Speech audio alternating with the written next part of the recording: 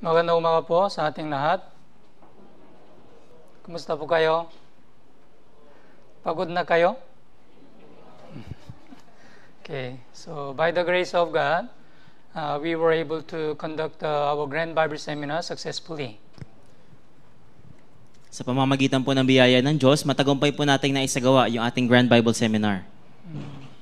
I believe uh, many of the newcomers, they understood what is the true salvation through this Bible Seminar. Ako po'y naniniwala na marami pong mga newcomers yung naunawaan po yung tunay na ebanghelyo, yung tunay na kaligtasan sa pamamagitan po ng ating Grand Bible Seminar. Today, uh, we are going to learn about uh, gospel appeared in the Old Testament and also about our Christian life. At ngayon po pag-aaralan po natin yung ebanghelyo na, nagpaki- na pinakita doon sa lumang tipan. Okay, before we start, let's pray. Tayo pong lahat ay manalangin. Holy and gracious our Heavenly Father God, who created the heavens and the earth, thank you so much for your grace and great love. Banal at mahabagin naming Amang Diyos na lumikha ng langit at lupa, maraming salamat po sa iyong biyaya at pag-ibig. We were born as a sinner and we were supposed to go to the eternal hell. Kami po ay ipinanganak ng mga makasalanan at nakatakda kami para sa walang hanggang impyerno. But you had compassion on us and you saved our spirit from the eternal destruction. Ngunit ikaw po ay nahabag sa amin at iniligtas mo kami mula sa walang hanggang pagkawasak.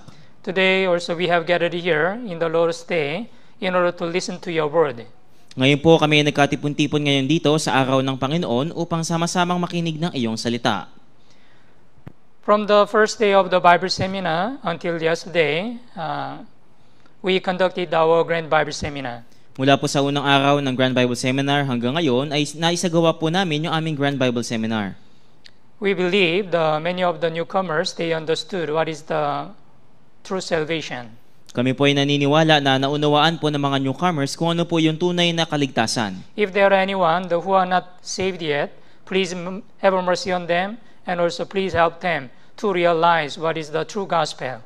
At kung sino man po yung hindi pa po na nakakaunawa o hindi pa nauunawaan, nawa mahabag ka po sa kanila, Panginoon, at nawa ah, bigyan mo po sila ng pagkakataon na maunawaan po kung ano yung tunay na ebanghelyo. We know nobody can be saved without help of the Holy Spirit. Alam po namin na walang sino man na maliligtas kung wala ang tulong ng banal na Espiritu. When we receive this word, uh, let us uh, receive as the word of God, not as the word of man. Nawa kapag napakinggan po namin ang salitang ito, huwag namin itong tanggapin bilang salita ng tao, kundi bilang salita ng Diyos. From the beginning of this Sunday service to the end, the Holy Spirit is with us and guide us. Mula po sa umpisa hanggang sa matapos, ang banal na Espiritu nawa ang tumulong at kumilos sa amin. In the name of our Lord Jesus Christ, we pray. Sa pangalan ng aming Panginoong Heso Kristo, ito po yung aming dalangin.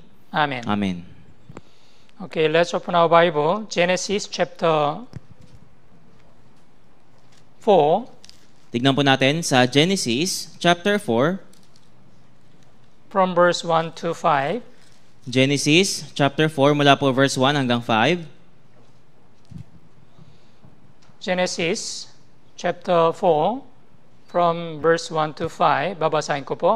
At nakilala ng lalaki si Eva na kanyang asawa at siya naglihi at ipinanganak si Cain at sinabi, Nagkaanak ako ng lalaki sa tulong ng Panginoon. Kasunod nito ay ipinanganak niya ang kanyang kapatid ni si Abel. Si Abel ay tagapag-alaga ng mga tupa at si Cain ay magbubungkal ng lupa. Sa paglipas ng panahon ay nagdala si Cain ng isang handog sa Panginoon mula sa mga bunga ng lupa. Nagdala rin si Abel ng mga panganay ng kanyang kawan, ang taba ng mga iyon, at pinang- pinahalagahan ng Panginoon si Abel at ang kanyang handog, subalit hindi niya pinahalagahan si Cain at ang kanyang handog, galit na galit si Cain at nangingit-ngit ang kanyang mukha. Yeah, according to this Genesis chapter 4, uh, it is talking about two sons of Adam, uh, Cain and Abel. Dito po sa Genesis chapter 4, ipinakilala yung dalawang anak ni Adan, si Cain at si Abel. Cain uh, was a tiller of ground, and Abel was a, a sheeper, keeper of sheep. Si Cain po yung kanyang gawain ay magbubungkal ng lupa, samantalang si Abel ay tagapag-alaga ng kawan. Yeah, one day, uh, both of them they wanted to offer to God. At isang araw, nais po ng dalawang magkapatid na ito na maghandog sa Panginoon. So, if you look at verse 3, and in the process of time, it came to pass that Cain brought on brought an offering of the fruit of the ground to the Lord. And verse 4 Abel also brought of the firstborn of his flock and of their fat. And the Lord respected Abel and his offering. Kaya sabi po sa verse 3, sa paglipas ng panahon ay nagdala si Cain ng isang handog sa Panginoon mula sa mga bunga ng lupa, nagdala rin si Abel ng mga panganay ng kanyang kawan, ang taba ng mga iyon at pinahalagahan ng Panginoon si Abel at ang kanyang handog. Yeah, both of them they offered their offerings to God. Kaya sila pong dalawa, pareho silang nag, naghandog sa Diyos. But Bible says the Lord respected Abel and his offering. Ngunit sinabi po ng Biblia na pinahalagahan ng Panginoon yung handog ni Abel. Verse 5 But he did not respect Cain and his offering. Subalit hindi niya pinahalagahan si Cain at ang kanyang handog. That's the reason why God did not receive Cain's offering. Kaya ano po yung dahilan bakit hindi tinanggap ng Diyos yung handog ni Cain? Actually, there is a very important reason. We, we should understand this one. Sa katunayan, meron pong napakahalagang mahal, ah, dahilan kaya kinakailangan po natin itong maunawaan. If you read this uh, Genesis chapter 4, uh, you cannot find the answer why God respected Abel's offering, but he did not respect the Cain's offering. Dito po sa Genesis chapter 4, hindi po natin makikita yung sagot kung bakit mas pinahalagahan ng Diyos yung handog ni Abel kaysa kay Cain. Both of them, yes, they offered the offerings. Kaya pareho po sila na naghandog ng kanilang alay. We can answer, we can receive the, we can find the answer from the Hebrew chapter 11, verse 4. By faith, Abel offered to God a more excellent sacrifice than Cain. Makikita po natin yung sagot dito po sa Hebreo chapter 11 verse 4. Sa pananampalataya, si Abel ay nag-alay sa Diyos ng higit na dakilang handog kaysa kay Cain. Yeah, by faith, this is important. Yeah, so Abel had a faith, but Cain, he did not have a faith. Kaya napakahalaga po nito sa pananampalataya. Si Abel meron siyang pananampalataya, ngunit si Cain ay wala. Cain and Abel, they listened to the story what happened in the Garden of Eden from their parents, Adam and Eve. Ito pong dalawang magkapatid na si Cain at Abel, narinig po nila yung kwento mula sa kanilang mga magulang kung ano yung nang- nangyari doon sa halamanan ng Eden. As we learn the story of the Garden of Eden, yeah, in the Garden of Eden, Adam and Eve, they ate the fruit of the knowledge of good and evil. Gaya po ng ating alam doon sa kwento sa halamanan ng Eden, kinain po ng mag-asawa yung pinagbabawal na bunga, yung pagkaalam ng mabuti at masama. Although God commanded Adam, you shall not eat the fruit of the knowledge of good and evil. In the day you eat of it, you shall surely die. Kaya kahit na ipinagbawal ng Diyos kay Adan na huwag niyang kakainin yung bunga ng pagkaalam ng mabuti at masama dahil sa oras na kainin niya iyon, tiyak na mamamatay siya. But Eve uh, was uh, deceived by the serpent, and then she ate the fruit of the knowledge of good and evil, Ngunit si Eva ay nadaya ng ahas at kinain po niya yung bunga. and also gave it to her husband, Adam. At binigyan din niya yung kanyang asawa na si Adan.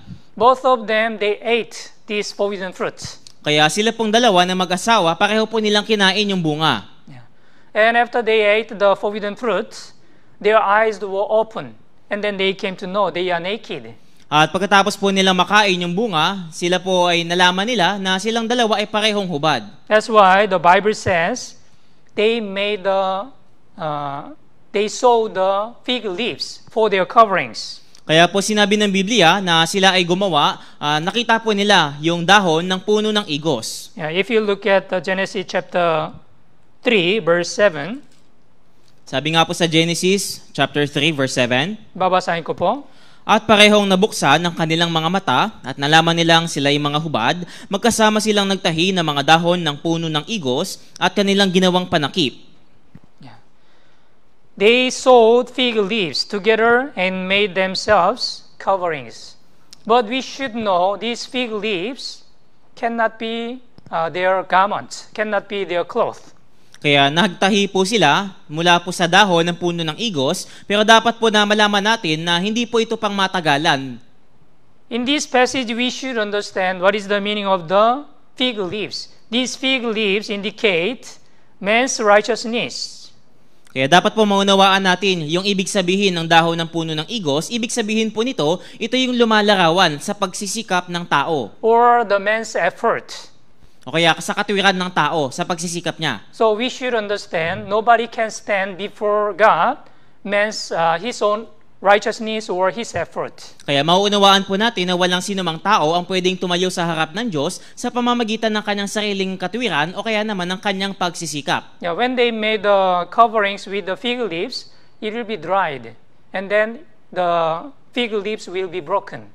Kaya kapag ah, naarawan o natuyo yung dahon ng puno ng igos, ito ay ito ay makakalas. It means humans' righteousness will be useless. Kaya ibig sabihin po yung katwiran ng tao ay magiging walang kabuluhan. That's why God prepared the one innocent animal, and then God killed it, and God made the tunics of skin to cover Adam and Eve. Kaya nga po ang ginawa ng Diyos, siya ay pumatay ng hayo, pagkatapos ginawa, ginawa niya ng damit na balat si Adan at si Eva. Yeah, Genesis chapter 3, verse 21. Basahin po natin, sabay-sabay. 3 to 1, At iginawa ng Panginoong Diyos si Adan at ang kanyang asawa ng mga kasuotang balat at sila'y dinamitan. Yeah, God made tunics of skin and clothed them. These tunics of skin made by God. Kaya ito pong balat na kasuotan, ito po ay ginawa ng Diyos. And also, important things. In order to prepare these tunics of skin, the one innocent animal should be killed. At yung mahalaga po pong bagay dito, para makagawa ng kasuotang balat, kinakailangan ay pumatay ng isang hayop. Yeah, like this. At the first time, Adam and Eve, after they ate the fruit of the knowledge of good and evil, when they came to know they are naked, they made, they made the coverings with the fig leaves. Kaya gaya po ng nandito, nang malaman po ni Adan at Eva na sila po ay mga hubad, sila po ay nagtahi mula po sa dahon ng puno ng igos. But these fig leaves cannot cover their uh, secret part. Ngunit yung mga dahon po ay hindi matatakpan yung kanilang mga bahagi. That's why God prepared the innocent animal. And then God killed. Kaya nga po naghanda ang Diyos ng isang inosenteng hayop at pinatay niya ito. That means sin of the Adam and Eve will be transferred to this innocent animal and Kaya- will be killed. Kaya ibig sabihin po yung kasalanan ni Adan at Eva ay inilipat doon sa hayop at siya ay pinatay. That's why God prepared the garment of skin, you know, tunics of skin. Kaya po naghanda ang Diyos ng isang kasuotang balat para sa kanila. So through this redemption, Adam and Eve sins also were forgiven. Kaya sa pamamagitan po ng pagtubos na ito, yung kasalanan ni Adan at Eva ay natubos din. Actually, this is the promise of God. God will send us Jesus Christ, and then Jesus Christ will die for their sins. Sa katunayan, ito po yung pangako ng Diyos na isusugo ng Diyos Yesu Kristo upang tubusin yung kanilang kasalanan. Yeah. Isaiah chapter 61, verse 10. Isaías chapter 61 verse 10, Babasahin ko po. Ako'y magagalak na mabuti sa Panginoon, ang aking buong pagkatao ay magagalak sa aking Diyos, sapagkat binihisan niya ako ng mga damit ng kaligtasan, kanyang tinakpan ako ng balabal ng katwiran, gaya ng lalaking ikakasal na ginagayakan ang sarili ng palamuting bulaklak, at gaya ng babaeng ikakasal na, gaga- na nagagayakan ng kanyang mga hiyas. Yeah. Mga damin ng kalitasan. Huh? The, he has clothed me with the garments of salvation. This is very important. Those who are wearing the garments of salvation, they can enter eternal heaven. But if you don't have any wear the garments of salvation, you cannot stand before God.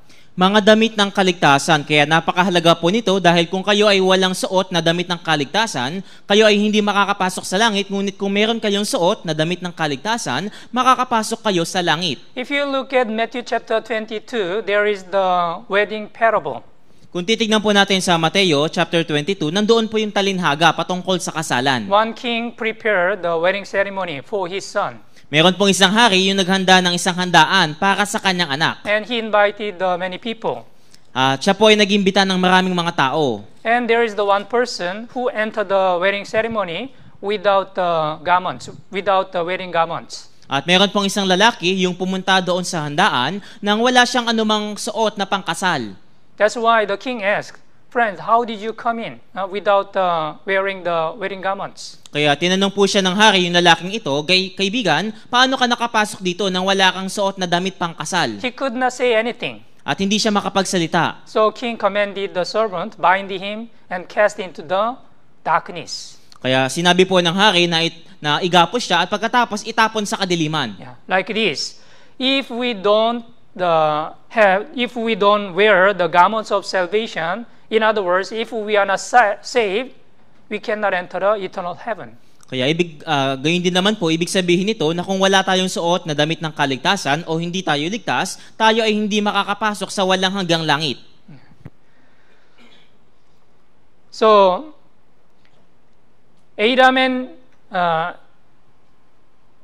Adam and Eve, they were forgiven. Yeah, Kaya, their sins also forgiven. kaya yung kasalanan po ni Adan at Eva ay napatawad din. And Cain and Abel, they also heard this story from their parents. At si Cain at Abel ay narinig din nila yung kwento na ito mula sa kanilang magulang. But uh, Cain, he did not uh, listen to the word carefully. Ngunit si Cain ay hindi nakinig ng mabuti doon sa kwento. But Abel, the while he was listening to the word from the, his parents, he realized really important things. Ngunit si Abel, habang nakikinig siya sa kwento ng kanyang mga magulang, meron siyang naunawaan na mahalagang bagay. Yeah. In order to recover the relationship between uh, with God, the blood is necessary. There should be the animal sacrifice. Kaya para manumbalik yung relasyon sa Diyos, kinakailangan ng dugo. That's why Cain only brought the fruit of the ground. Kaya nga po si Cain, ang ginawa niya, nagdala lamang siya ng bunga ng lupa. But Abel, he brought the firstborn, the lamb, uh, from his flock. Ngunit si Abel, siya ay nag, ah, nagdala ng, lala, ng panganay na mula sa kanyang kawan. Yeah. He offered this the lamb, yeah, you know, the as offering. Kaya binigay po niya ang tupa na ito bilang handog. That's why God respected the Abel's offering, but He did not respect the Cain's offering. Kaya nga po pinahalagahan ng Diyos yung handog ni Abel kaysa sa handog ni Cain. It is very important in order to uh, have a relationship with God. There must be the uh, blood, and also there must be the sacrifice. Kaya napakahalaga po nito upang manumbalik yung relasyon sa Diyos, napakahalaga ng dugo at kinakailangan yung paghahandog. And also, if you look at Exodus chapter 12, verse 13, Kung titingnan din po natin sa Exodo chapter 12 verse 13, the, we learned about the history. Israelite, they had a slavery life in Egypt for 400 years. at napag-aralan na po natin ito na yung mga Israelita, sila ay naging alipin doon sa Ehipto sa loob ng 400 years. And then uh, God sent the Moses in order to save the Israelites. At sinugo po ng Diyos si Moises upang iligtas ang mga Israelita. And yeah, after four, after ten the plagues, uh, the king of Egypt, Pharaoh, allowed the Israelite to leave the Egypt. At pagkatapos ng sampung salot, pinahintulutan ng Faraon na makaalis yung mga Israelita.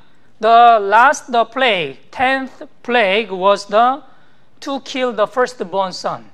Kaya yung pinakahuling salot, ito po ay pagpatay sa mga panganay. Yeah, from the firstborn animal to the firstborn son of the uh, Pharaoh, yeah, God killed all the firstborn.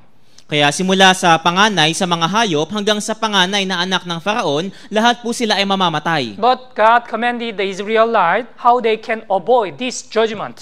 Ngunit sinabi po ng Diyos sa mga Israelita kung paano nila maiiwasan yung hatol na ito. Yeah, they had to kill the firstborn lamb, and with the blood, they should put the blood on the doorpost and the lintel of the house. Ang sabi po ng Diyos, kinakailangan patayin nila yung panganay ng kanilang mga tupa, pagkatapos ay kukunin yung dugo at ipapahid sa pintuan, sa gilid ng pintuan, at sa ibabaw, sa taas ng pintuan. And God said, When I see the blood, I will pass over you. No destructive plague will touch you when I strike Egypt. At sinabi po ng Diyos, kapag aking nakita ang dugo, lalampasan ko kayo, at walang salot na papatay sa inyo kapag pinuksa ko ang lupain ng Ehipto. Yes, this is the promise of God.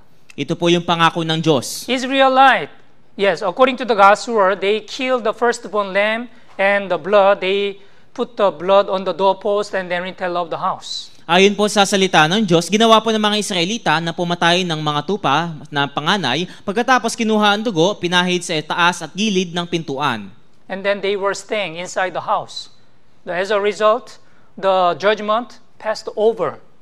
Kaya naman sila ay nanatili doon sa bahay at pagkatapos yung paghahatol o yung paghuhukom ay lumagpas sa kanila. Yeah. Because of the Israel, the people's the first son, uh, the firstborn animal, the killed uh, because of the firstborn son of Israelites. Kaya sa halip na mamatay yung mga panganay ng mga Israelita, ah, namatay yung mga panganay ng kanilang hayop. This is also shadow of Jesus Christ. Kaya ito rin po ay anino ni Yesu Kristo. So if we look at the Old Testament, there are a lot of the shadows appeared in the Old Testament. Kaya kung titignan po natin sa lumang tipan, napakadami po ng anino. Because of Adam and Eve's sin, innocent animal was killed. Kaya dahil sa kasalanan ni Adan at Eva, yung inosenteng hayop ay namatay. Yeah. Because of the Abel's sin also, a lamb was killed. At dahil din sa kasalanan ni Abel, yung isang tupa ay namatay. And because of the firstborn of the Israelites, the firstborn lamb was killed. At para sa mga panganay ng mga Israelita, yung panganay na tupa ay namatay. So there is the common point, right? The this is the redemption as a shadow. Kaya meron po silang pagkakapare-pareho. Ito po yung pagtubos sa pamamagitan ng dugo. And there is the blood, blood of the lamb, right? So as we learned yesterday, without shedding of blood, there is no redemption. At meron din pong dugo, pag-aalay ng dugo. Kaya sabi nga po sa Biblia, kung walang pagdanak ng dugo ay walang kapatawaran ng mga kasalanan. So this is also shadow of the Jesus Christ. Kaya ito rin po ay anino ni Heso Kristo. Yeah, like this. Israelite, they put the blood on the doorpost and the lintel of the house. Kaya gaya po nito, yung mga Israelita, pinahid nila, pinunas nila yung dugo ng tupa doon sa taas ng pintuan at sa gilid ng pintuan. And God said, When I see the blood, I will pass over you. At sabi ng Diyos, kapag aking nakita ang dugo, lalampasan ko kayo. Yeah, those who staying inside the house, the firstborn son was safe because there is the blood. Kaya yung mga tao na nandoon sa loob ng bahay, sila ay ligtas dahil merong dugo sa pintuan. It is also same. If you really believe in the blood, blood of Jesus, the judgment of God will pass over you. Kaya gayon din naman kung kayo ay tunay na sumasampalataya sa dugo ni Yesu Kristo, yung paghuhukom ng Diyos ay lalagpas sa inyo. When I see the blood, I will pass over you. Kapag aking nakita ang dugo, lalampasan ko kayo. So, uh, there is the hymnal, uh, nothing but the blood, right? So there is, there is no any other way to wash away our sins except the blood of Jesus. Kaya wala pong ibang paraan upang malinis yung ating mga kasalanan kung hindi sa pamamagitan lamang ng dugo ni Jesus. When we believe, because of my sin, Jesus died on the cross, and through His blood, all of my sins were forgiven. Kaya kung tayo po ay naniniwala dito na napatawad yung ating lahat ng mga kasalanan sa pamamagitan ng kanyang dugo. Yeah, when you believe this, you shall not receive the judgment. Kung kayo po ay manin- judgment of God will pass over you. kung kayo po ay maniniwala dito, yung paghuhukom po ng Diyos ay lalagpas sa inyo. And there is another also shadow, Numbers chapter 21. Sabi din po sa number ah, sa bilang chapter 21 verse 8 and 9. mula po verse 8 hanggang 9. Numbers chapter 21, verse 8 and 9. Okay, babasahin ko po. At sinabi ng Panginoon kay Moises, gumawa ka ng isang makamandag na ahas at ipatong mo sa isang tikin at bawat taong nakagat ay mabubuhay kapag tumingin doon. Kaya't si Moises ay gumawa ng isang ahas na tanso at ipinatong sa isang tikin at kapag may nakagat ng ahas at tumingin ang taong iyon sa ahas na tanso ay nabubuhay. According to this uh, Numbers chapter 21, when the Israelites they were staying in the wilderness, uh, there was no water and no, no food. That's why the Israelites they complained to God. Noong mga panahon na napunta yung mga Israelita doon sa ilang sa at sa haloob ng mahabang panahon at wala po silang pagkain at wala din silang tubig kaya sila ay nagreklamo sa Diyos. So God sent the fiery serpent to bite the Israelites. Kaya ang ginawa po ng Diyos ay nagsugo siya ng mga makamandag na ahas upang kagatin yung mga Israelita. Yeah, Israelites they committed sin before God. That's why they were killed uh, by the this fiery serpent. Yung mga Israelita, sila ay nagkasala sa Diyos, kaya naman sila ay pinatay sa pamamagitan ng makamandag na ahas. Yeah. Later, the Israelite they realized their sin, Kalauna, naunawaan ng mga Israelita yung kanilang kasalanan. so they asked the Moses to pray to God. Kaya hiniling po nila kay Moises na ipanalangin sila sa Diyos. So when the when the Moses prayed to God, God said, here the number chapter 21 verse 8 and 9. Then the Lord said to Moses, Make a fiery serpent and set it on a pole, and it shall be that the everyone who is bitten when he looks at it shall live. Kaya pagkatapos po na manalangin ni Moises, sinabi po ng Diyos sa kanya, kaya't si Moises ay gumawa ng isang ahas na tanso at ipinatong sa isang tikin. God commanded Moses to make a, a bronze serpent and set it on a pole. Kaya naman pinagawa po ng Diyos si Moises ng isang tansong ahas ah, na gawa sa tanso at ipinatong sa isang tikin. And whoever is bitten by the fiery serpent, look at the bronze serpent, and he shall live.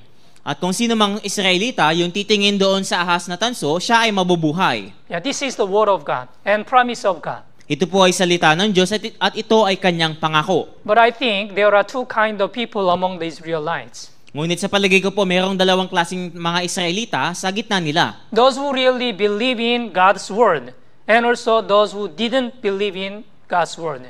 Yung mga tunay na naniniwala sa salita ng Diyos at yung mga taong hindi naniniwala sa Diyos. Actually, this bronze serpent, it is not the special things. Sa katunayan, hindi naman espesyal itong ahas na tanso na ito. What is more important? Ano po yung mas mahalaga? The word of God. Yung salita ng Diyos. If you really believe in the word of God, yeah, as you believe, it, it shall be surely accomplished. Kaya kung kayo po ay sumasampalataya sa salita ng Diyos, kung kayo ay maniniwala, ito ay mangyayari. Yeah, those who believe in the word of God, yes, they looked at, looked at the serpent and they lived.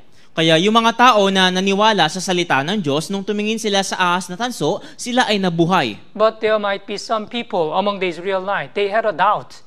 We are bitten by the serpent. We are dying. So what will be huh, usually although we look at this bronze serpent, Ngunit merong ilan na mga tao sa mga Israelita na sinasabi po nila, iniisip nila, paano nakinakagat na ako ng ahas, kaya paano mangyayari na gagaling ako, mabubuhay ako kung titingin lamang ako dyan. they didn't believe in God's word. Hindi sila naniwala sa salita ng Diyos. And they didn't look at the bronze serpent. At hindi rin sila tumingin doon sa ahas na tanso. What happened? Ano po yung nangyari? They died because they didn't believe in God's word. Sila po ay namatay dahil hindi sila naniwala sa salita ng Diyos. Yeah. Nowadays it is also same. How can we be saved? We can be saved through the word of God.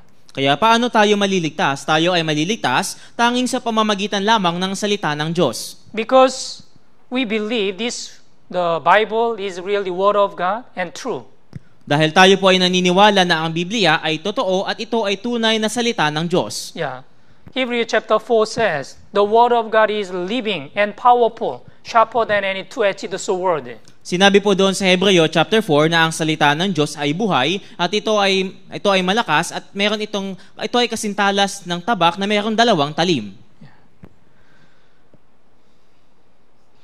Nowadays, uh, if you go to the hospital, you can see uh, the some the cross, and then there is the some the bronze serpent. This is this is the mark of the uh, doctors. Kaya meron pong sa mga ospital, meron pong mga simbolo na krus, tapos meron nakapalibot na ahas doon. Yeah, it came from this Bible. Yeah, Numbers chapter 21. Kaya nagmula po yung simbolo na iyon dito sa bilang chapter 21. When he looked at the bronze serpent, he lived. Nung sila ay tumingin doon sa ahas na tanso, sila ay nabuhay. This is also shadow of Jesus Christ. Ito rin po ay anino ni Heso Kristo. John chapter 3 verse 14 and 15. Okay, basahin po natin sabay-sabay. 3 to 1. Kung paanong itinaas ni Moises sa ilang ang ahas, kailangan din namang itaas ang anak ng tao upang ang sinumang sumampalataya sa kanya ay magkaroon ng buhay na walang hanggan. Yeah. And as Moses lifted up the serpent in the wilderness, even so must the Son of Man be lifted up? Yes, Jesus Christ was crucified on the cross and then died for our sins. Kaya si Yesu Kristo ay namatay doon sa krus at siya ay namatay para sa ating mga kasalanan. Israelites in the wilderness, whoever was bitten by the bronze serpent, when he looked at the bronze serpent, he lived. Kaya doon sa ilang, nung, ah, nung tumingin yung mga Israelita, yung mga nakagat ng ahas doon sa ahas na tanso, sila ay nabuhay. Nowadays, whoever believes in him, whoever believes in Jesus, should not perish, but have ev- everlasting, eternal life. Kaya naman dito rin naman po, kung sino yung sumasampalataya kay Yesu Kristo, sila ay magkakaroon ng buhay na walang hanggan. 1 Peter chapter 2, verse 24 and 25. Unang Pedro, chapter 2, mula po verse 24 hanggang 25. Okay, babasahin ko po. Siya mismo ang nagdala ng ating mga kasalanan sa kanyang katawan sa punong kahoy upang tayo'y mamatay sa mga kasalanan at mabuhay sa katwiran dahil sa kanyang mga sugat ay gumaling kayo sapagkat kayo'y tulad sa mga tupang naliligaw ngunit ngayon ay bumalik na kayo sa mga pas sa pastol na at tagapag-alaga ng inyong mga kaluluwa. Yes, Jesus Christ was crucified on the cross because of our sin, and he redeemed all of our sins. Si Yesu Kristo ay namatay doon sa krus para sa ating mga kasalanan. That's why we can be saved uh, through the Jesus Christ. Kaya nga po pwede po tayong maligtas sa pamamagitan ni Yesu Kristo. Israelite, when they looked at the bronze serpent, yeah, they believed. Yung mga Israelita, nung tumingin sila doon sa ahas na tanso, sila ay nabuhay. Nowadays, also same. When you look at the Jesus Christ, you shall have the eternal life. Kaya gayon din naman po sa atin, kung sino yung tumingin kay Yesu Kristo at maniwala, siya ay mabubuhay. Magkakaroon siya ng buhay na walang hanggan. Okay, I will show you one video clip.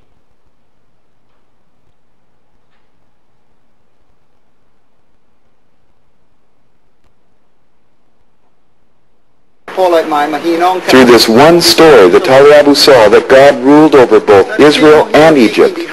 He was also holy, judging those who determined to go their own way. At the same time, he graciously delivered those who demonstrated their trust in his word. You have also introduced the concept of substitution. The innocent lamb died in place of the firstborn. When I heard that, I thought, the lamb, the Passover lamb, the sacrificial lamb. My mind opened. It had to be. This Jesus was the promised one. It would be Jesus who would deliver us from sin. We listened and saw that Jesus had power over all that we feared. Hunger, sickness, demons, and death.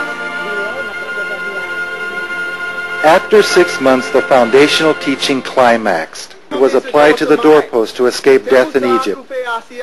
Like the Passover lamb, the sinless Jesus was perfect.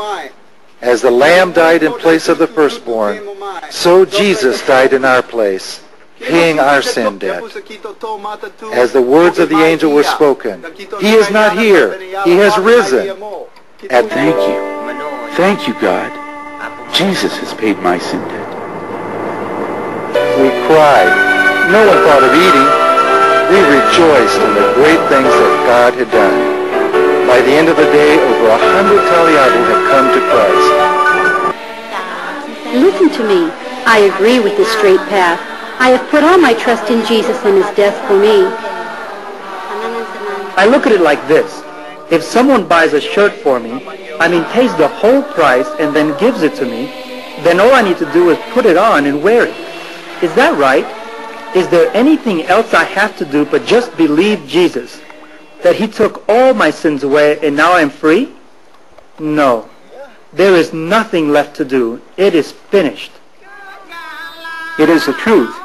There is nothing I can do to please God, to pay my sin debt. It became clear to me that this is why Jesus had to die.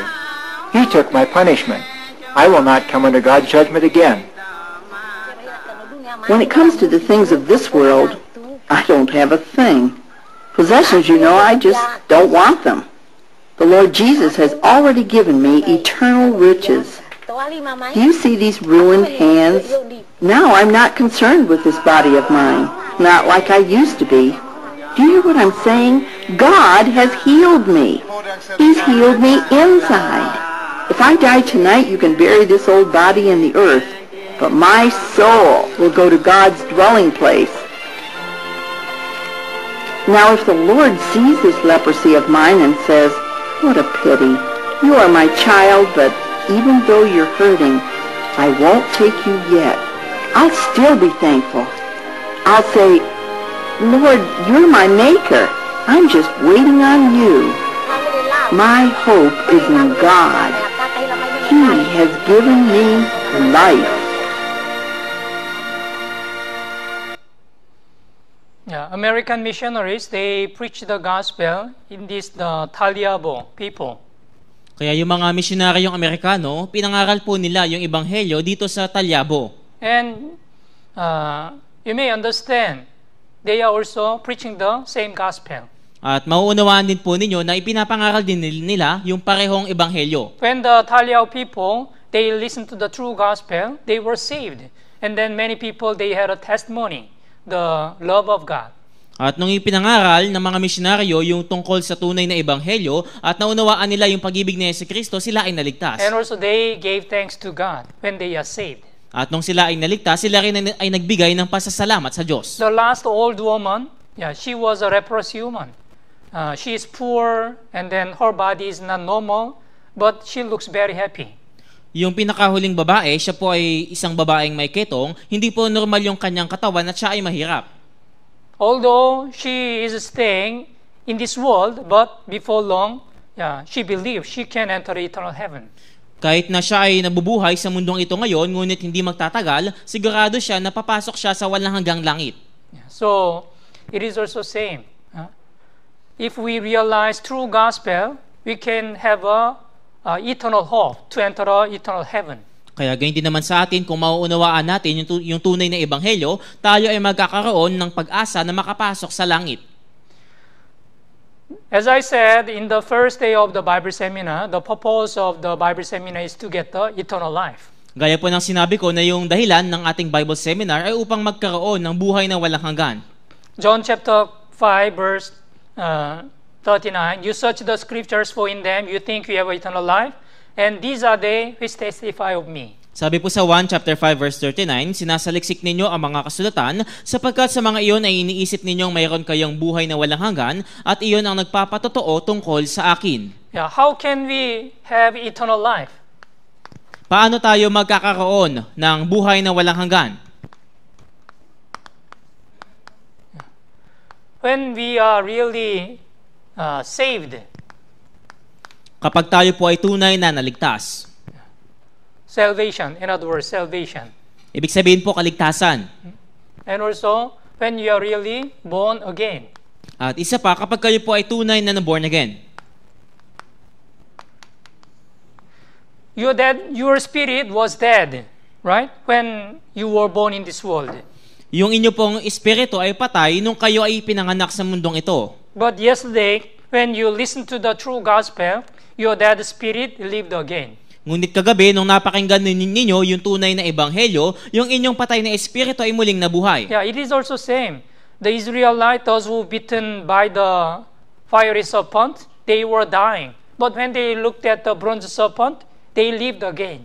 Kaya ganyan din naman po sa mga Israelita na sila ay mamamatay na, ngunit nung tumingin sila sa ahas na tanso, sila ay nabuhay. John chapter 5, verse 24 and 25. Juan chapter 5 mula po verse 24 hanggang 25. Okay, basahin po natin, sabay-sabay. 3 to 1.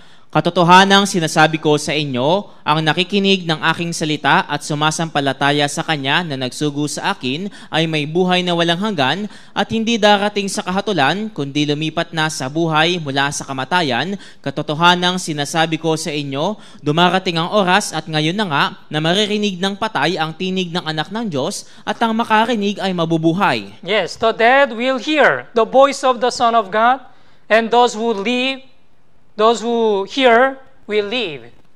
Maririnig ng patay ang tinig ng anak ng Diyos at ang makarinig ay mabubuhay. If you look at the John chapter 11, there is the story how Jesus Christ make the dead Lazarus live again. Kung titignan po natin sa Juan chapter 11 na kung saan yung apat na araw na patay ng si Lazaro ay muling binuhay ni Yesu Kristo. After Lazarus died, uh, four days later, Jesus visited uh, his house. Pagkatapos na mamatay ni Lazaro, pagkatapos ng apat na araw, binisita ni Jesus yung kanil yung ah, sila sila Lazaro. Yeah, two sisters of the Lazarus, they were very sad. They were sad because his brother died. Yung dalawang kapatid na babae ni Lazaro, sila po ay parehong napakalungkot. So Jesus went to the grave and then commanded the people to move the stone. At sinabi po ni Jesus na ah, alisin yung malaking bato na harang doon sa kuweba. And then Jesus said, Lazarus, come out. At sinabi po ni Jesus, Lazaro, lumabas ka. So dead Lazarus, he came out according to God, according to word of Jesus. Kaya ayon po sa salita ni Jesus, yung patay na si Lazaro ay lumabas. Yeah, we need to think about why Jesus Christ showed this kind of uh, signs and then this kind of miracle. Kaya kailangan po nating pag-isipan kung bakit po ipinakita ni Jesus yung ganitong klaseng himala at tanda. Jesus Christ came to this world to give us eternal life. Si Yesu Kristo ay pumarito sa sanlibutan upang bigyan tayo ng buhay na walang hanggan. Yeah, here the dead hear, the dead will hear the voice of the Son of God, and those who hear will live. Kaya nga po sabi dito, maririnig ng patay ang tinig ng anak ng Diyos at ang makarinig ay mabubuhay. And he who hears my word and believes in him who sent me has everlasting life. Kaya sabi po, maririnig ng patay ang tinig ng anak ng Diyos at ang makarinig ay mabubuhay. Yeah. Naniniwala kayo sa Jesus? Yes. When you really believe in Jesus Christ, you can have a eternal life. Kaya kung kayo po ay sasampalataya kay Yesu Kristo, kayo po ay magkakaroon ng buhay na walang hanggan. Romans chapter 5, verse 8 and 9. Roma chapter 5 mula po verse 8 hanggang 9. Okay? Basahin po natin sabay-sabay. 3 to 1. Subalit, pinatutunayan ng Diyos ang kanyang pag-ibig sa atin na noong tayo'y mga makasalanan pa, si Kristo ay namatay para sa atin, lalo pa nga ngayong itinuturing tayong ganap sa pamamagitan ng kanyang dugo, ay maliligtas tayo sa galit ng Diyos sa pamamagitan niya. Yes, God demonstrate His own love toward us in that uh, while we were still sinners. Yes. Through the Jesus Christ, we can understand how much God loved us. Kaya sa pamamagitan po ni Yesu Kristo, pinatunayan ng Diyos kung paano niya tayo lubos na iniibig. Yeah, John chapter 3, verse 16, right? For God so loved the world that He gave His only begotten Son, that whoever believes in Him should not perish, but have everlasting life. Sabi nga po sa 1 chapter 3 verse 16, sapagkat gayon na lamang ang pag-ibig ng Diyos sa sanlibutan na ibinigay niya ang kanyang tanging anak upang ang sinuman sa kanya'y sumampalataya ay huwag mapahama kundi magkaroon ng buhay na walang hanggan.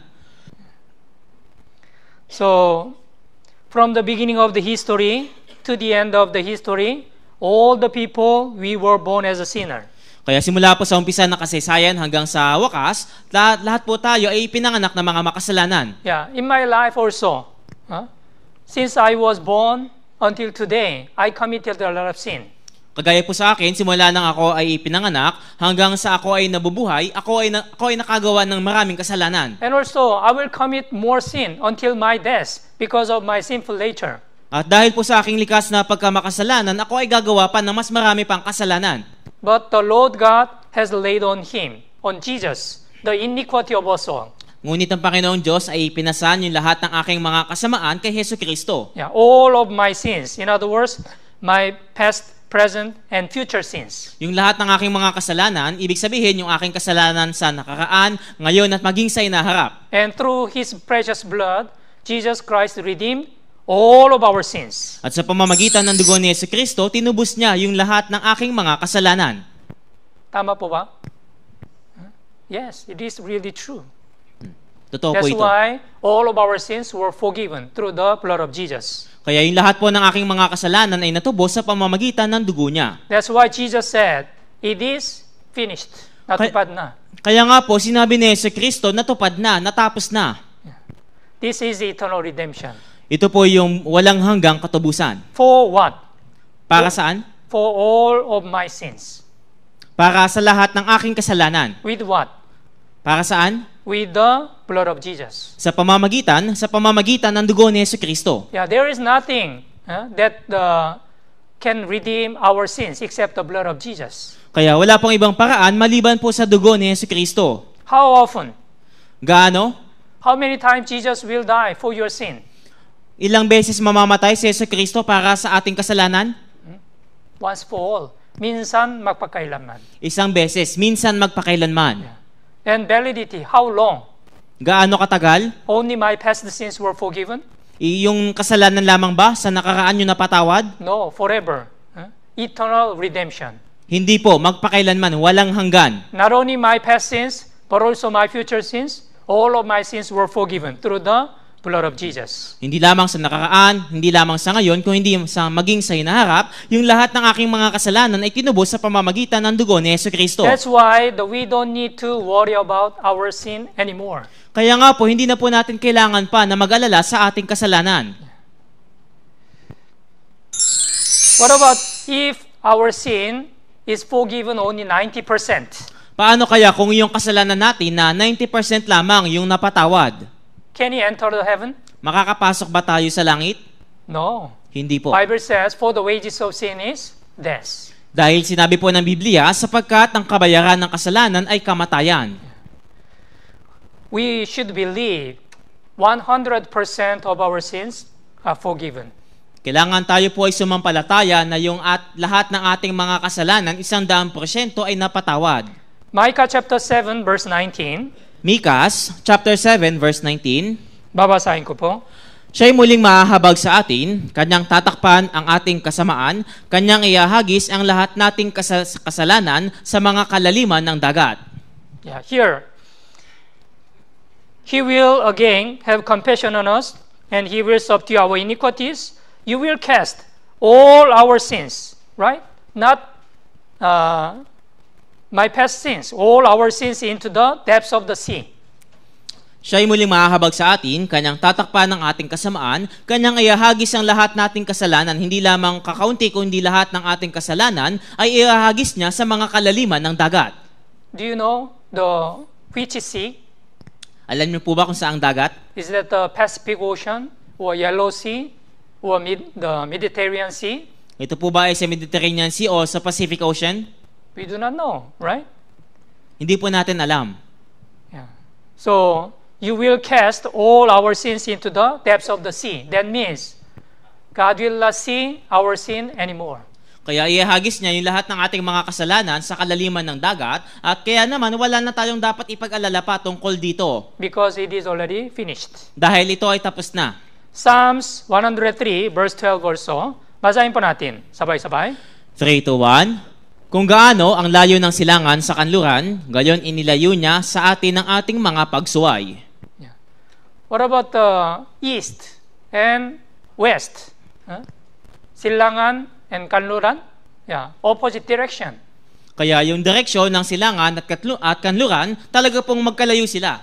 That's why, so far as He removed our transgressions for us, from us, that means God will not look at our sin anymore.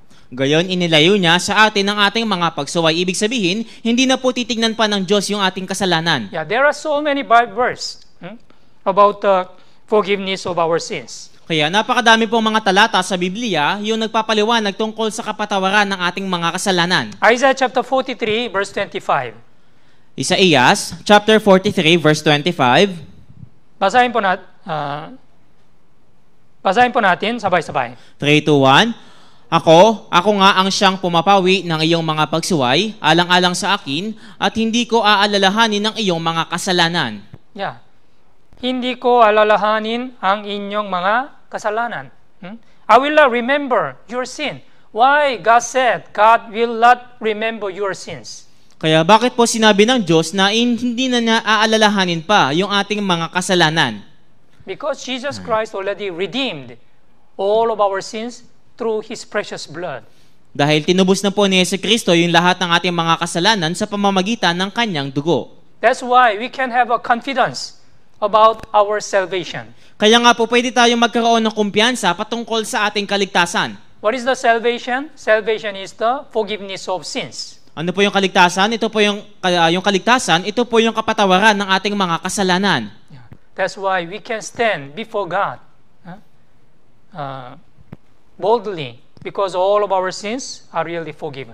Kaya nga po matapang tayong makakatayo sa harap ng Diyos dahil napatawad na yung ating mga kasalanan. Yeah. From the sinner, we became the righteous man. Mula sa pagiging makasalanan, tayo ay, tayo ay naging mga taong matuwid.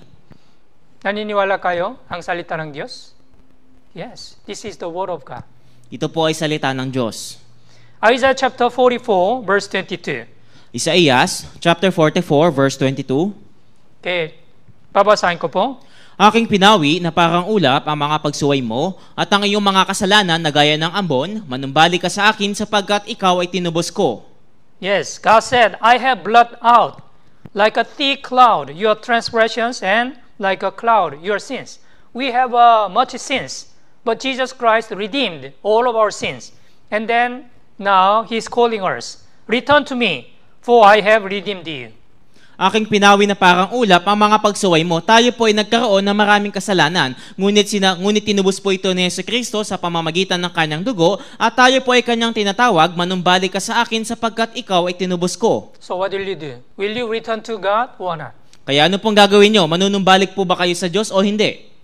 Of course, we should return to God Siyempre po, dapat tayo ay manumbalik sa Diyos. because Jesus Christ saved me from the eternal destruction. Dahil tayo ay iniligtas, tayo, ako ay iniligtas ng Diyos mula sa walang hanggang pagkawasak. If you really realize the love of God and grace of God, yes, you should gi- give thanks to the Lord and you should serve Him. Kaya kung talaga pong naunawaan ninyo yung pag-ibig ng Diyos, yung kanyang biyaya, kayo po ay talagang magbibigay ng pasasalamat sa Kanya. But there are still so many people who do not know this uh, true gospel. Ngunit napakadami, nakada, napakadaming tao pa rin yung hindi nakakaalam patungkol sa tunay na ebanghelyong ito. Although their sins were forgiven, they do not know.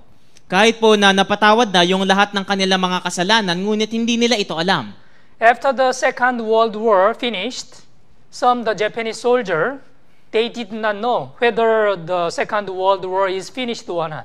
Pagkatapos po ng ikalawang digmaang pandaigdig, meron pong isang sundalo na hapon, hindi po niya alam na tapos na, matagal nang tapos yung digmaan. Here in the Philippines, there is a one the Japanese soldier who was hiding in the jungle of the Philippines. Kaya habang ah, sa Pilipinas, meron pong isang sundalong hapon yung nanatili, siya, siya po ay nanatili sa loob ng mahabang panahon at hindi po niya alam na matagal nang tapos ang digmaan. Yeah, he trained by himself in the jungle of the Philippines continuously because he did not know the war is finished. Kaya habang siya ay nananatili sa kagubatan dito sa Pilipinas, patuloy siya nagsanay dahil hindi po niya alam na matagal nang tapos yung digmaan. Yeah, he is the Onoda.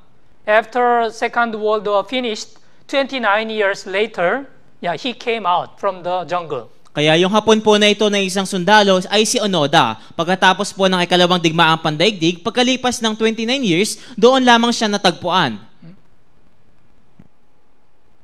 This Japanese soldier, in the days of the Marcos. Kaya ito po ay isang sundalong hapon sa panahon ni Marcos. Yeah. Like this, there are also many foolish people. Although Jesus Christ redeemed their sin, they do not know. Kaya kagaya po nito, meron po mga taong hangal na kagaya nito na kahit tinubos na yung kanilang kasalanan, hindi nila ito alam. So, if you are really saved, you should abide in Jesus Christ. Kaya kung kayo po ay tunay na ligtas, kinakailangan po ay manatili kayo kay Yesu Kristo. Okay, John chapter 15, verse 3 and 4. Juan, chapter 15, mula po verse 3 hanggang 4. Babasahin ko po. Kayo'y malilinis na sa pamamagitan ng salita na aking sinabi sa inyo. Kayo'y manatili sa akin at ako'y sa inyo. Gaya ng sanga na hindi magbubunga, buhat sa kanyang sarili, malibang nakakabit sa puno. Gayon din naman kayo, malibang kayo'y manatili sa akin. Yeah, you already cleansed because of the word. That means you were saved through the word of God. Kaya kayo po ay malilinis na sa pamamagitan ng salita na aking sinabi sa inyo. Ibig sabihin, kayo ay ligtas na sa pamamagitan ng salita ng Diyos. And Jesus Christ commanded you, uh, abide in me, and I in you. As the branch cannot bear fruit of itself unless it abide in the vine. At inuutusan po kayo ni Yesu Kristo na kayo'y manatili sa akin at ako'y sa inyo, gaya ng sanga na hindi magbubunga buhat sa kanyang sarili, malibang nakakabit sa puno. Yeah, as you know well, the branch should attach on the tree, and then the branch will grow and will bear the fruits. Gaya po ng inyong alam, yung sanga ay dapat na nakakabit doon sa mismong puno at nang sa gayon siya po ay magbubunga ng mga bunga. What will happen if the branch is cut off uh, from the tree? It will be dried, and then it will be useless. Kaya paano po kung yung sanga ay naka, nakalas o naputol mula doon sa puno, ano po yung mangyayari sa kanya? Siya ay matutuyo at malalagas. Our born again Christian is also same. Huh? After we get the salvation, what we should do first? First, we should abide in the true church, and we should listen to the word of God continuously. Kaya gayon din naman po sa atin, pagkatapos po na tayo ay tunay na maborn again, kinakailangan ay manatili po tayo sa iglesia at dapat na tayo ay magpatuloy sa pakikinig ng salita ng Diyos. so that you will grow continuously. Nang sa gayon kayo po ay patuloy na lalago. Colossians chapter 1, verse 5 and 6. Colosas chapter 1 mula po verse 5 hanggang 6. Babasahin ko po. Dahil sa pag-asa na nakalaan para sa inyo sa langit, na inyong narinig noong una sa salita ng katotohanan, ang ebanghelyo na dumating sa inyo, gayon din naman kung paanong ito ay namum- namumunga at lumalago sa buong sanlibutan, ay gayon din naman sa inyo mula ng araw na inyong marinig at maunawaan ang biyaya ng Diyos sa katotohanan. Yeah. So you will grow since you are uh, really born again. Kaya kayo po ay lalago o lalaki simula po nang kayo ay tunay na maborn again. Here, the day you heard and the and you the grace of God in truth. Sabi nga po mula ng araw na inyong marinig at maunawaan ang biyaya ng Diyos sa katotohanan. Through this passage, we can understand there is the day of salvation. Sa pamamagitan po nito, mauunawaan natin na meron pong araw yung kaligtasan. Everybody has uh, your flesh birthday, physical birthday. Tayo pong lahat, meron po tayong ah, birthday sa laman o physical na kapanganakan.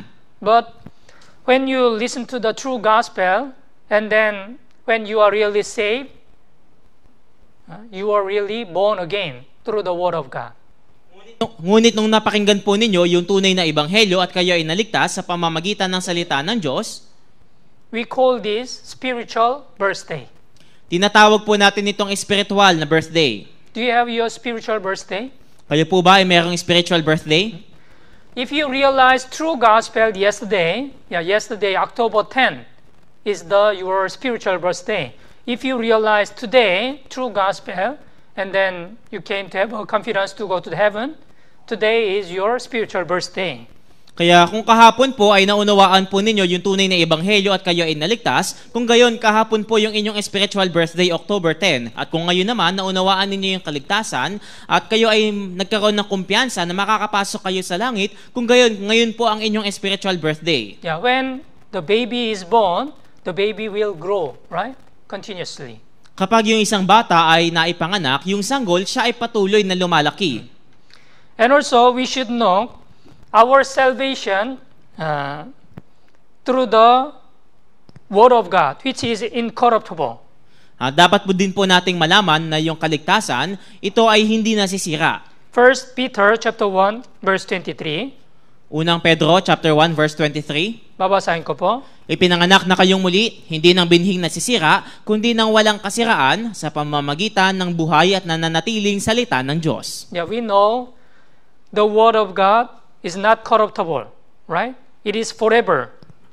Alam po natin na yung kaligtasan ay hindi nasisira, ito po ay magpakailanman, walang hanggan. That's why when you are really saved through the Word of God, your salvation also cannot be lost. Kaya nga po kung kayo ay tunay na maligtas sa pamamagitan ng salita ng Diyos, yung inyo pong kaligtasan ay kailanman ay hindi na mawawala pa. Some churches, they teach the different things. If you commit sin again, your salvation can be lost. Yung iba pong mga simbahan, sila ay nagtuturo ng, ng iba na kapag sila daw ay nagkasala, yung kanilang kaligtasan ay mawawala. But that is wrong teaching. If you are really saved, huh, your salvation is the eternal salvation. Kaya mali po ito dahil kung kayo po ay tunay na naligtas, yung inyo pong kaligtasan ay kailanman ay hindi na mawawala pa. Your salvation cannot be lost. Ang inyong kaligtasan ay hindi na mawawala pa. Walang hanggang kaligtasan ito. Because Jesus Christ promised, John chapter 10, verse 28. Dahil ipinangako po ito ni Yesu Kristo doon sa Juan chapter 10 verse 28. Basahin po natin, sabay-sabay.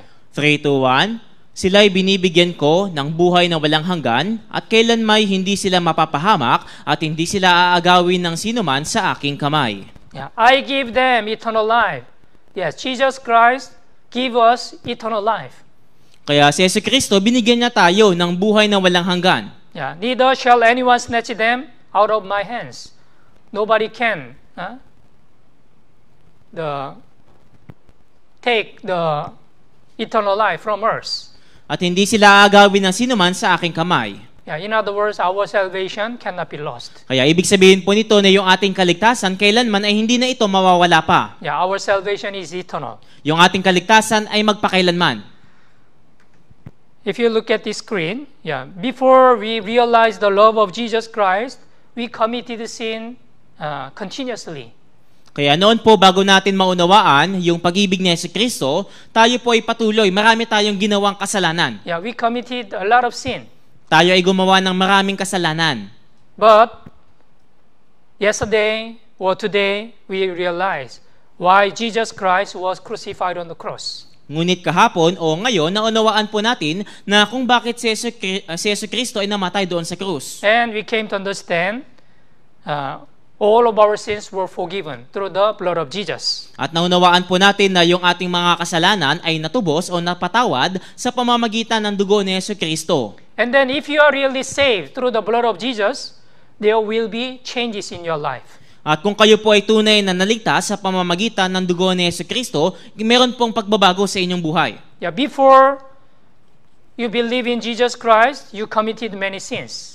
Noon, nung kayo ay naniniwala kay Yesu Kristo, kayo ay gumagawa ng maraming kasalanan. But since you are really born again, your, your sins will be decreased continuously. Ngunit simula po nang kayo ay maipanganak na muli, yung inyo pong paggawa ng kasalanan ay unti-unting mababawasan. Because you wanted to follow Jesus Christ as a Christian. Dahil nais po ninyong sundan o sundin si Yesu Kristo bilang Kristiyano. We should know there are three uh, stages of salvation. Dapat po nating malaman na meron pong tatlong estado yung kaligtasan. Yeah, we call that number one, justification, number two, sanctification, and number three, glorification. Una po, tinatawag natin itong justification o pag-aaring ganap. Ikalawa, sanctification o pagpapabanal. Ikatlo, glorification o, o yung pagbabago ng katawan. Justification means our spiritual position was changed from sinner to the Son of God. Ibig sabihin po ng pag-aaring ganap, yung ating espiritual na kondisyon mula sa pagiging makasalanan ay nabago sa patungo sa pagiging tao, pag, patungo sa pagiging anak ng Diyos. Although our position was changed, but still we are not perfect. Kahit po na tayo ay tayo, kahit na tayo ay naging anak na ng Diyos, ngunit tayo po ay hindi pa rin perpekto. That's why we should be changed through the Word of God. Kaya nga po, tayo ay dapat na mabago sa pamamagitan ng salita ng Diyos. And we should grow in the faith. At dapat tayong lumago sa pananampalataya. We call this sanctification. At tinatawag naman po natin itong sanctification o pagpapabanal. Okay, let's think about this. Romans chapter 6 verse 1 and 2. Can we continue sin intentionally after salvation? Ano nga ang ating sasabihin? Magpapatuloy ba tayo sa pagkakasala upang ang biyaya ay sumagana? Some people ask a question like this. Oh, if all of our sins, not only my, my past sins, but also my future sins, that means, is it okay to continue committing sins in the future? Kaya meron pong tao yung nagtanong kung yung lahat ng aking mga kasalanan sa nakaraan at maging sa hinaharap ay napatawad na, ibig sabihin okay lang kahit ma- na gumawa ako ng marami pang kasalanan. This is the answer about the question. Kaya ito po yung sagot sa tanong na yon. Romans chapter 6 verse 1 and 2. Basahin po natin sabay-sabay. 3 to 1. Ano nga ang ating sasabihin? Magpapatuloy ba tayo sa pagkakasala upang ang biyaya ay sumagana? Huwag nawang mangyari. Tayong mga namatay na sa pagkakasala, paano nga tayong mabubuhay pa roon? Ano po ba sagot? Huh? Huwag nawang mangyari. Certainly not. Yes. Huwag nawang mangyari. Truly born again Christian cannot continue committing sins if you really realize the love of Jesus Christ. Kaya yung tunay na born again Christian, hindi po niya magagawa na magpatuloy sa pagkakasala kung tunay po niyang naunawaan yung pag-ibig ni Yesu Kristo. Yes, think about this. Why Jesus Christ was crucified? Uh, he was beaten by the whips, and he wore the crown of thorn, and his both were the nailed, and his feet were nailed. Kaya pag-isipan po natin na maigi ito, bakit po ba si Kristo ay namatay doon sa krus? Bakit siya ay nilatigo? Bakit siya ay sinuotan ng koronang tinik? At bakit ipinako yung parehong kamay niya at kanyang mga paa? If you want to, if you wanted to continue committing sins, that means I wanted to crucify Jesus Christ again. Kaya kung nais po ninyo na magpatuloy sa pagkakasala, ibig sabihin, nais po ninyo na patuloy na ipako si Yesu Kristo doon sa krus. That's why Romans chapter 6, verse 1 to says, Shall we continue in sin that grace may abound? Certainly not. Magpapatuloy ba tayo sa pagkakasala upang ang biyaya ay sumagana? Huwag nawang mangyari. And also, yeah, of course, as a born again Christian, we still have a sinful nature. Maybe there will be the possibility of committing sin. Siyempre po, dahil sa tayo ay meron pang likas na pagkamakasalanan, mayroong posibilidad na tayo ay magkakasalang muli.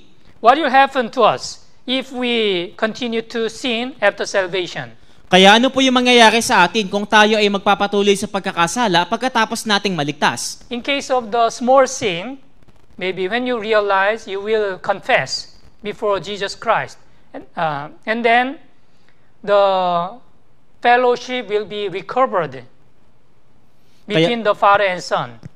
Kaya pagdating po sa mga maliliit na kasalanan, kung ipapahayag po ninyo yung inyong kasalanan kay Yesu Kristo, yung relasyon po ninyo kay Yesu Kristo ay manunumbalik sa pagitan, yung relasyon ninyo sa Diyos ay manunumbalik sa pagitan ng Ama at ng Anak. Because you are not still perfect, right? Sometimes when you get angry, yeah, you will get angry. Or sometimes when you get angry, you will say some bad word. So in the case, this kind of the small sin, when you confess, the fellowship will be recovered between Father and Son. Kaya dahil sa hindi pa rin po tayo perpekto, minsan kapag tayo ay nagagalit, tayo ay nakakapagsalita ng masasakit na salita. Kaya kung tayo ay magkakasala at ipapahayag natin yung ating kasalanan, kung gayon, yung ating kasalanan ay mapapatawad at yung relasyon natin sa Diyos ay manunumbalik sa pagitan ng tatay at ng anak. But what will happen as a born again Christian if you commit sin? huh? For example, you deceive others intentionally, or you steal the money, or you commit adultery. Ngunit paano kung bilang isang born-again Christian, kayo ay gumawa ng kasalanan, kagaya ng sinadya ninyo na lokohin yung ibang tao, kayo ay nagnakaw, o kaya naman kayo ay nangalunya. Yeah. It cannot be forgiven. huh? There should be the discipline from God. Hindi ito mapapatawad kung hindi kayo makakatanggap ng disiplina mula sa Diyos. Hebrews chapter 12, verse 6, at, uh, 6 to 8.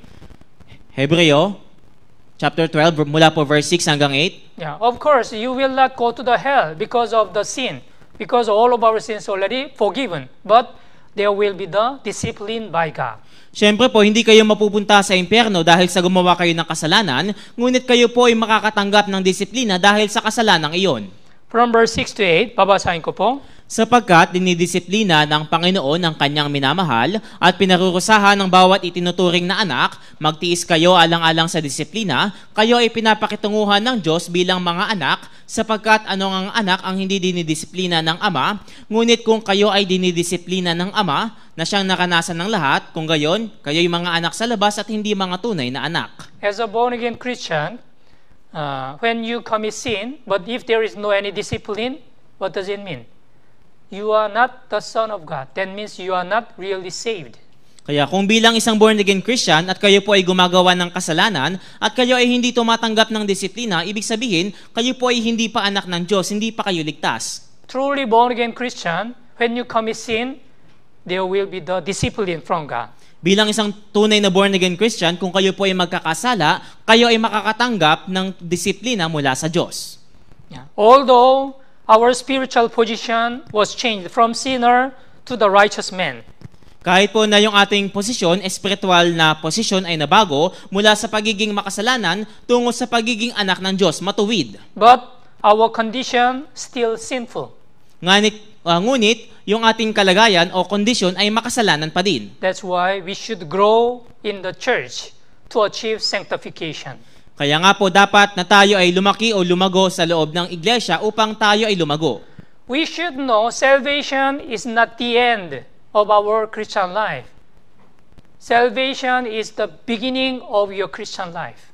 Sa katunayan po, dapat nating malaman na yung ating buhay kristyano, yung ating kaligtasan, hindi pa ito yung wakas ng ating buhay kristyano, kung hindi ito pa lamang yung pasimula. Yeah, in case of the baby, first the baby should be born, right? And then the after baby will grow. Kaya una, para po sa isang sanggol, kapag siya ay pinanganak, ito yung una, at ikalawa naman, siya ay lalaki. Born again Christian also saying, we were born again spiritually. And from that time, yeah, we will grow in the faith as a born again Christian.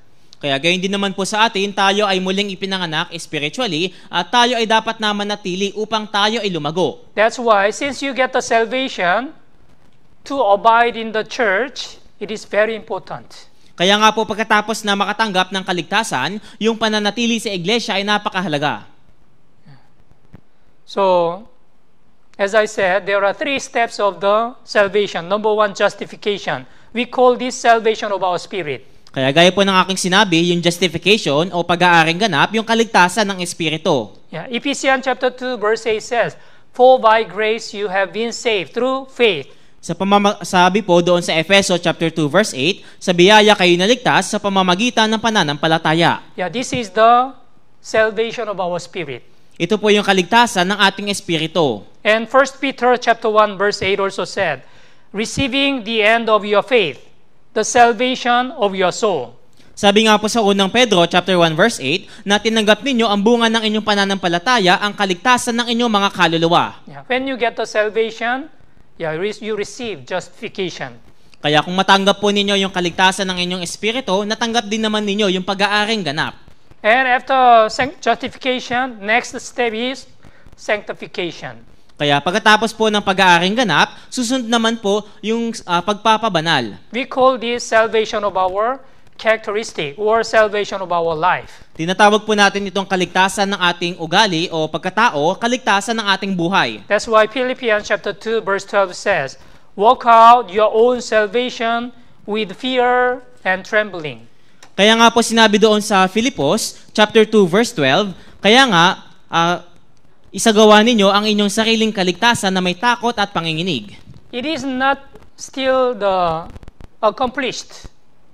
Hindi pa po ito nata- hindi pa po ito natatapos. Yeah. It is still ongoing until we stand uh, before Jesus Christ. Ito po ay nagpapatuloy hanggang hanggang sa tayo ay tumayo sa harapan ni Hesus Kristo. Yeah, since we are born again until we stand before Jesus Christ, we should continue to achieve this sanctification.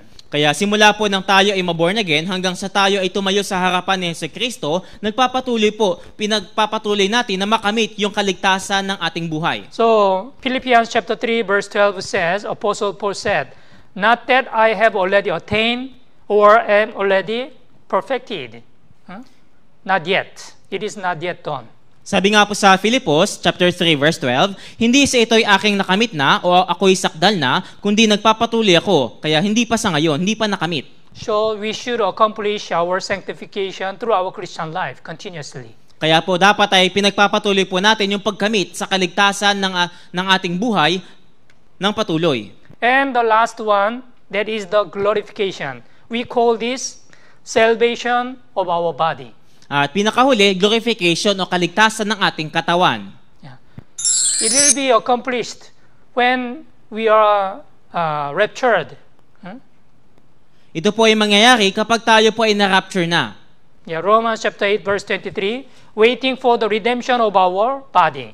Sabi nga po sa Roma, chapter 8, verse 23, na hinihintay yung kaligtasan ng ating katawan. And Philippians chapter 3 verse 21 also says, our lowly body will be transformed to his glorious body.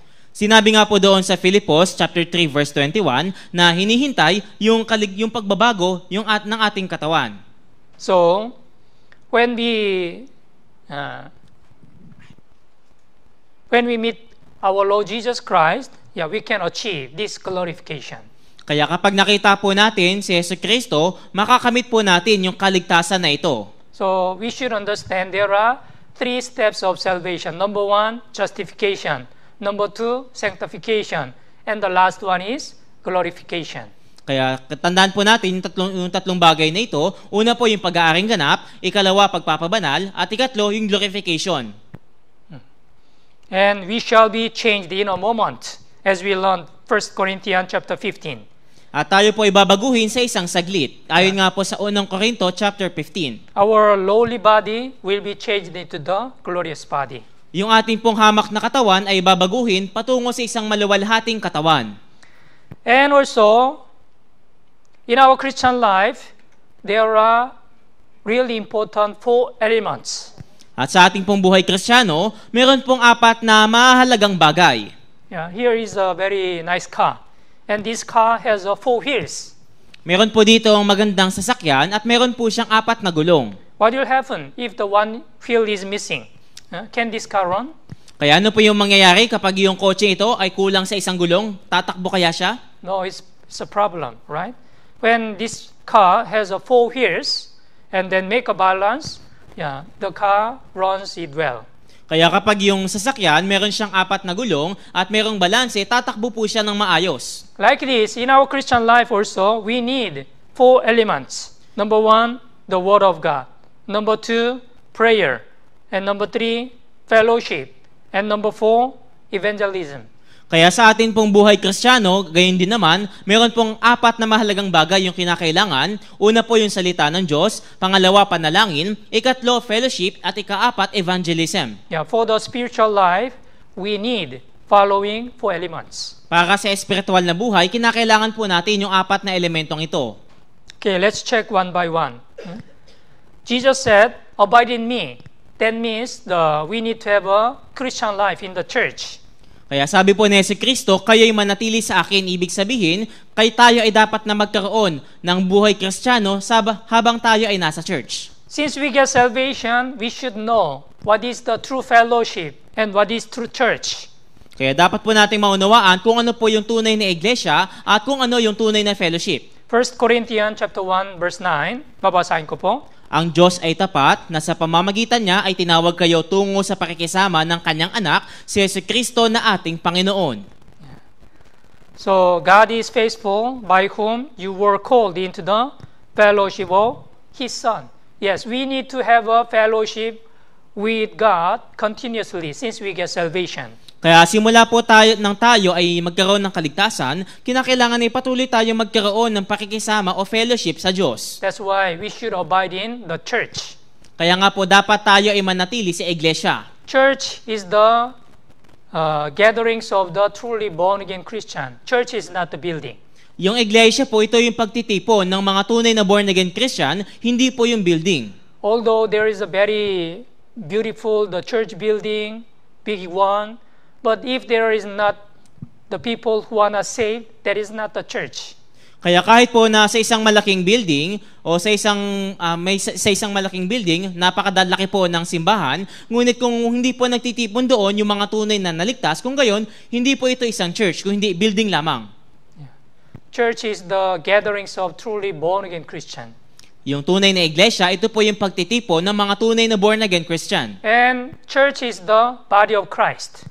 At yung iglesia, ito po yung ito po yung katawan ni Kristo. And Jesus is the head of the church. At si Kristo naman, siya yung ulo ng iglesia. Head and body is connected, right?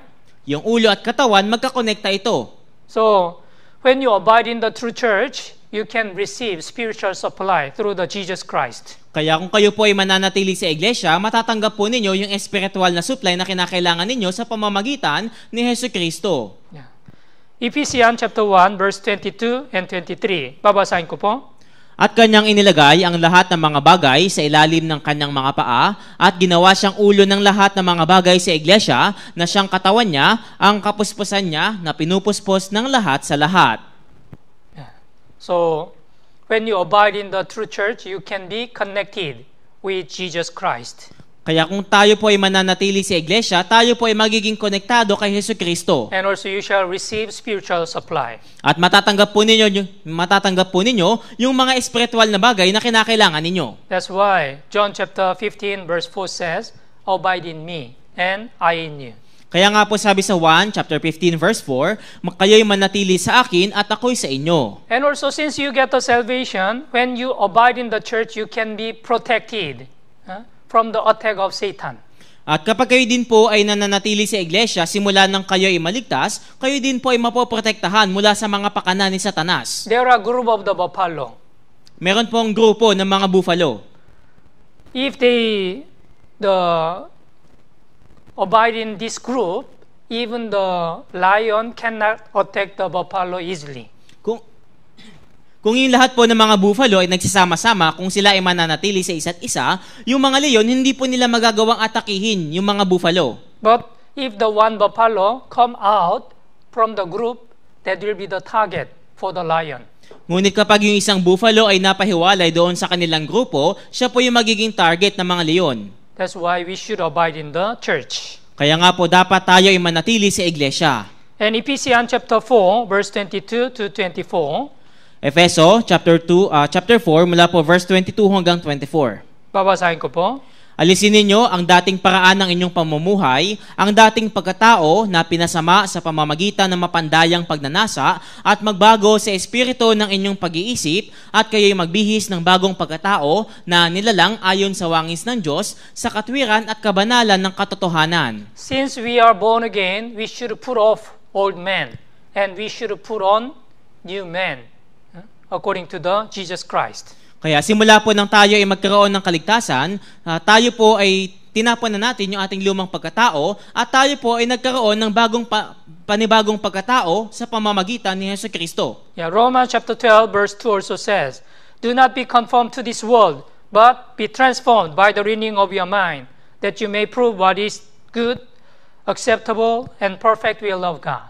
Sabi nga po sa Roma chapter 12 verse 2, huwag ninyong tularan ng sanlibutan ito, kundi magbago kayo sa pamamagitan ng pagbabago sa ng inyong pag-iisip upang mapatunayan ninyo kung alin ang mabuti, kasiyasiya at lubos na kalooban ng Diyos.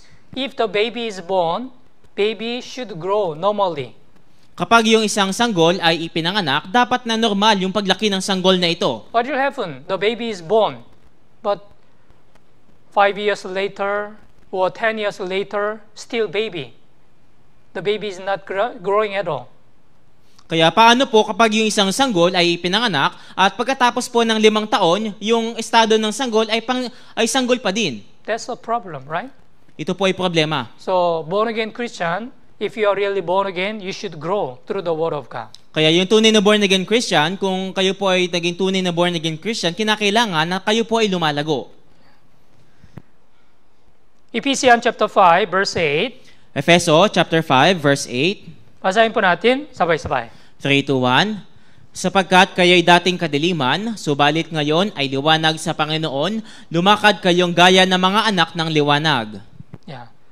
You were once darkness. Yes, before we are the children of darkness. Sapagkat kayo'y dating kadiliman, kaya dati tayo po ay mga anak ng kadiliman. But Bible says, now you are light in the Lord. Walk as the children of light.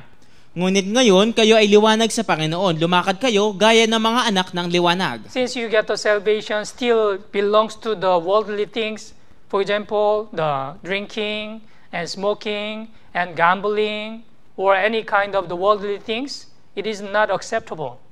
Kaya kung pagkatapos po ng kaligtasan, kung kayo po ay nananatili pa rin sa paggawa ng makasanlibutang mga bagay, kagaya po ng pag-iinom, pagsusugal, kung gayon, hindi, hindi kayo lalago. Because we are the children of light, not the children of the darkness. Tayo po ay hindi anak ng kadiliman, kung hindi anak tayo ng liwanag. Bible says, walk as children of light.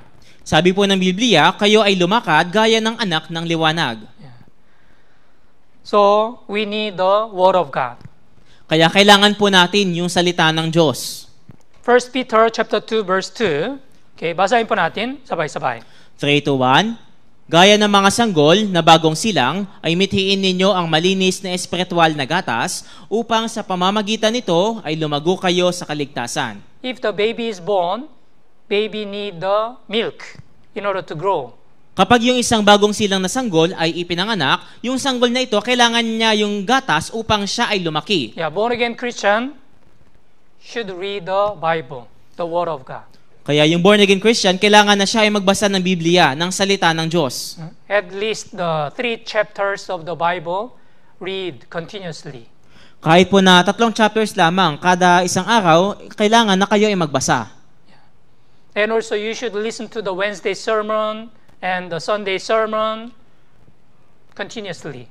At dapat din po na kayo ay patuloy na makinig ng Sunday sermon at ang Wednesday sermon ng patuloy. And then you will grow spiritually. At kayo po ay lalago spiritually. So, Matthew chapter 4, verse 4 so, babasahin ko po. Siya ay sumagot, nasusulat, hindi sa tinapay lamang mabubuhay ang tao, kundi sa bawat salitang lumalabas sa bibig ng Diyos. Yeah, man shall not live by bread alone, but by every word that proceed from the mouth of God. Actually, you are eating the breakfast, lunch, and dinner regularly, uh, continuously. Sa katunayan, kayo po ay kumakain ng pagkain ng hapunan, tanghalian at almusal ng patuloy. What about your spiritual food? Paano naman po yung inyong espiritual na pagkain? If you don't have any food in a day, yeah, from the morning to evening, you have no power. You will become very weak. Kaya kung kayo po ay hindi kakain na sa loob ng isang buong araw, kung gayon kayo po ay manghihina. It is also same spiritually. If you don't read the Bible, if you don't listen to the Word of God, you will become very weak spiritually. Kaya gayon din naman, kung kayo po ay hindi magbabasa ng Biblia at makikinig ng salita ng Diyos, kayo po ay manghihina spiritually. That's why we should read the Bible continuously. Kaya nga po dapat na patuloy tayong magbasa ng Biblia ng patuloy. And also, prayer as a born again Christian. At isa pa po, yung panalangin bilang isang born-again Christian. Prayer is the conversation between you and God. Yung panalangin, ito po yung pag-uusap sa pagitan mo at ng Diyos. Yeah, God became my father. Yung Diyos ay, aki- ay naging aking ama. So, when you wake up in the morning, first you should pray to God. And also, before you have a meal, also you should pray to God. And before you go to bed, also should pray to God. Kaya nga po, ba, kapag kayo po ay gumigising sa umaga, dapat kayong manalangin sa Diyos. Bago kayo kumain, kaila- kailangan kayo na manalangin sa Diyos. At bago matulog, dapat din naman kayong manalangin sa Diyos. And this is a promise of God. John chapter 14, verse 13, 14. At ito po yung pangako ng Diyos doon sa Juan chapter 13 mula po verse 13 hanggang 14. Babas, ah, basahin po natin, sabay-sabay. 3 to 1. At anumang hingin ninyo sa aking pangalan ay aking gagawin upang ang ama ay maluwalhati sa anak ku- kung kayo'y humingi ng anuman sa pangalan ko ay gagawin ko. Yeah, if you ask anything in my name, I will do it. This is promise of God. Kaya kung kayo ay hihingin, huhingi ng anuman sa aking pangalan, ito'y ibibigay ng Diyos sa inyo. We know how much God is powerful, right? God is almighty and God is omnipotent. Alam po natin kung gaano po makapangyarihan ng Diyos. Alam natin yung kanyang kakayahan.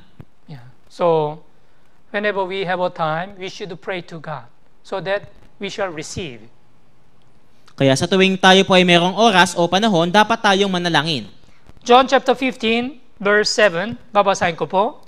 Kung kayo'y mananatili sa akin at ang salita ko'y mananatili sa inyo, hingin ninyo ang anumang inyong nais at ito'y gagawin para sa inyo. Yeah. There is the condition. If you abide in me and my word abide in you, you will ask what you desire. Right? There is the condition. So when you have a good Christian life, when you ask God, God will answer to your prayer. Kaya meron po itong kondisyon na kung tayo ay mananatili sa Kanya, ang mga salita niya ay mananatili sa atin, hingin natin yung ating anuwang nais at ito'y gagawin para sa atin. Continue honestly in prayer, being vigilant in with it thanksgiving. Kaya pagpatuloy kayo sa pananalangin at kayo magbantay na may, na may pagpapasalamat. Yeah. Pray without ceasing. Manalangin ng walang patid. And the last one is evangelism. If you are really saved through the word of God, yeah, you also should deliver this gospel to your family members or to your relatives and friends. At pinakahuli, evangelism, kung kayo po ay tunay na naligtas at naunawaan po ninyo yung pag-ibig ni Yesu Kristo, na naisin nyo rin po na maibahagi ito sa inyong mga kapamilya, kaibigan, kaibigan o kapitbahay. You are saved, and then you can enter heaven. But your family members not saved, and they will go to the hell. Kayo po ay ligtas at makakapasok kayo sa langit, ngunit yung inyong kaibigan at kapamilya ay hindi pa ligtas at kung magkagayon, papasok sila sa impyerno. What you should do?